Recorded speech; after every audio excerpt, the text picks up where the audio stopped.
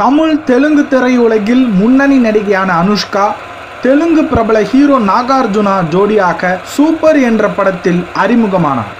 அந்த படம் ரெண்டாயிரத்தி ஐந்து ஜூலை இருபத்தி ரெண்டில் ரிலீஸ் ஆனது தமிழில் சுந்தர்சி இயக்கத்தில் மாதவன் ஜோடியாக இரண்டு படத்தில் நடித்தார். பின் தமிழ் தெலுங்கு என இரு மொழிகளிலும் பல முன்னணி ஹீரோக்களுடன் ஜோடி சேர்ந்தார். அருந்ததி பாகுபலி படங்கள் அவரை இந்திய அளவில் பேச வைத்தது. அனுஷ்கா அறிமுகமாகி பதினைந்து ஆண்டுகள் நிறைவடைந்ததை சமூக வலைதளங்களில் அவருடைய ரசிகர்கள் கொண்டாடி வருகின்றனர். அனுஷ்கா தனது பதிவில் அனைவருக்கும் என்றென்றும் நன்றி உங்களது அன்புக்கும் ஆதரவுக்கும் நன்றி சொல்ல வார்த்தைகளே இல்லை பாதுகாப்பாக கவனமாக இருங்கள் உங்கள் ஒவ்வொருவருக்கும் மேலும் பல சிறப்புகள் அமைய வாழ்த்துக்கள் என்று குறிப்பிட்டுள்ளார்.